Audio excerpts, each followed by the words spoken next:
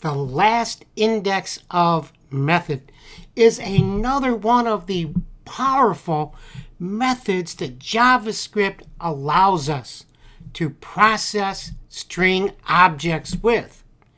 And I'm going to demonstrate it on our literal string Cavalier King Charles Spaniel. I am using the last index of method three times in this JavaScript.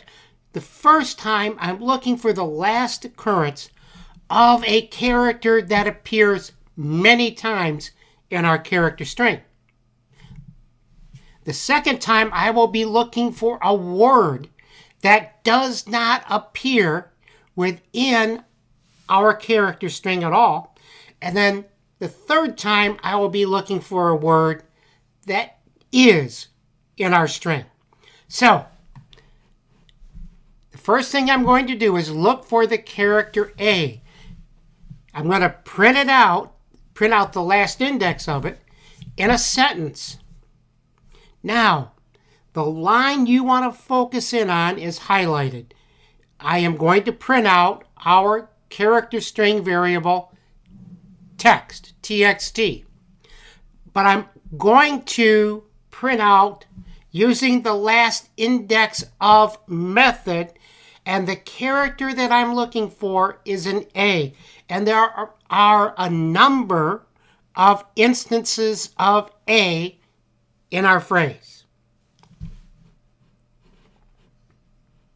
Next, what I'm going to do is look for the word king.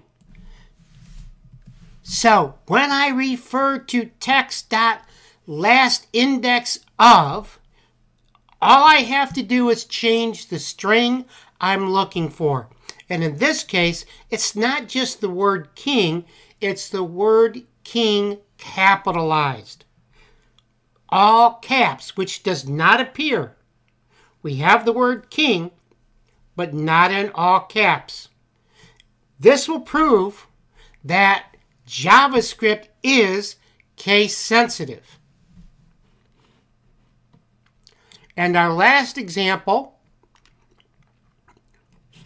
will show us that we can search for strings consisting of more than one character.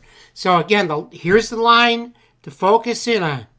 And it's text dot last index of, and then our parameter within parentheses is the word king with a capital K, which does appear in our phrase. Okay? Let's see what our output looks like. Okay, we updated our JavaScript and I saved it out. So all we need to do to see our test run is to refresh this web page. And here we go. Now, our first new line reads, the last A has an index of 24. Now, there are four A's in our phrase Cavalier King Charles Spaniel. Two in Cavalier, one in Charles, and one in Spaniel. And if you count from the C of Cavalier up to the A in Spaniel,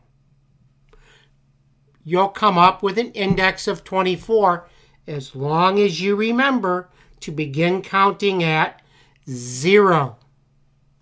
Okay? Our index is 24. Now, in the next line, we read the last king, all caps, has an index of minus 1. Now, our indices run from 0 on up. So an index of negative 1 can't occur. but when we search for something that doesn't exist, that is what gets returned. And it tells us there is no all caps king in our phrase.